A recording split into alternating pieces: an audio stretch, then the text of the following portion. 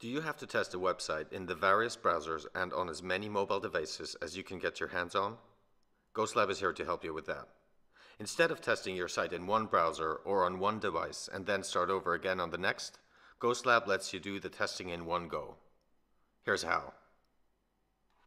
Add the URL of the site you want to test to GhostLab and click the play button. Open the browsers you want to test from within and connect your devices. For ease of use, you can use the handy QR code. Now start testing in one of the connected browsers.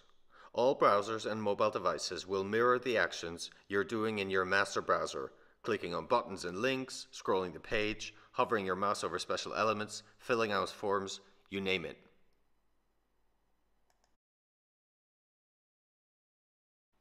Found a CSS bug?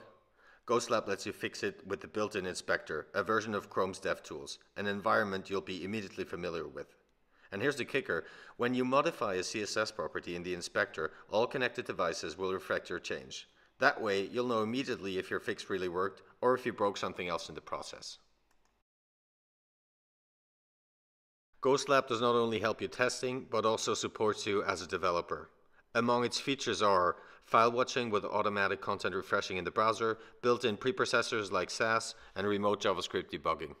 Try it yourself and download a free, time-limited, fully featured demo version.